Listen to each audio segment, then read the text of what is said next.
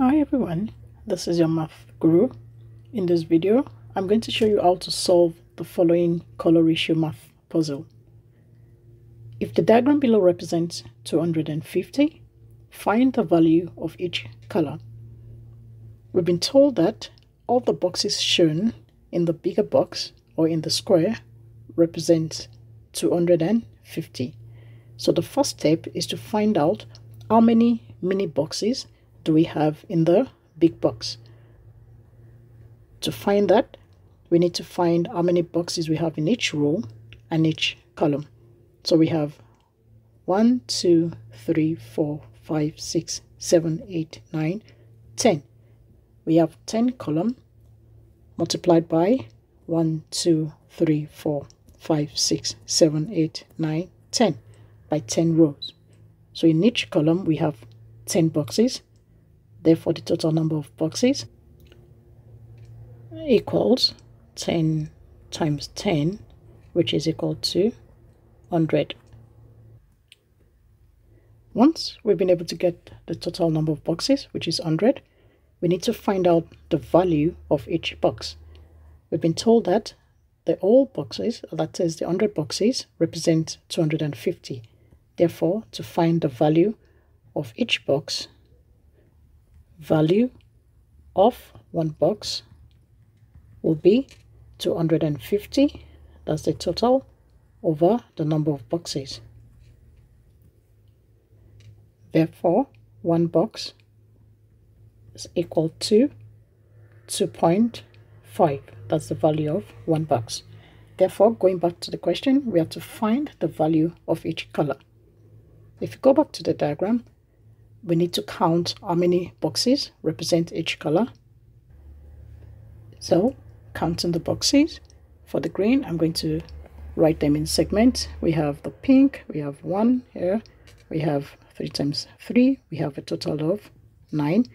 For the green, we have a total of six, and also we have a total of 36 and then for the blue we have a total of 2 and then we have a total of 30 and then for the orange we have two boxes here and then for the other side we have for the orange 14 boxes. Therefore if you have to write the total number of, or the value of each color I'm starting with the green. So we have green equals 36 plus 6 which equals to 42 therefore the value the value of the green equals 42 that's the total number of boxes times the value of each box. That's 2.5 which will give us we have 42 times 2.5 that is 105 then we go to the next color. We have the total number of blue boxes. We have blue equals we have 30 times plus 2 and that will be 32 boxes. Therefore the value of the green now we're working with the blue I'm going to change that.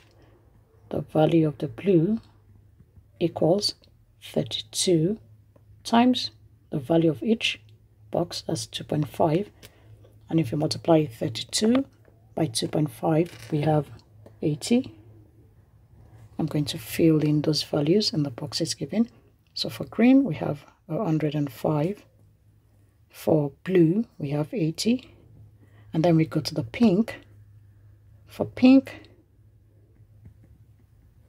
we have that as 9 plus 1, which is equal to 10.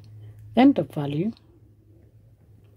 of the pink boxes equals 10 times the value of each box. As 2.5 that will give us 25 I'm going to fill that in. I have the pink 25 And the last color, we have our orange. The total number of boxes for the orange, we have that as 14 plus 2, which is equal to 16. Therefore, the value of the orange boxes equals 16 times 2.5 that's the value of one box so 16 times 2.5 will give us 40 I'm going to fill that in. We have 40 and a quick check is if we have 105 plus 25 plus 80 plus 40 that will give us a total of 250 that's the value given.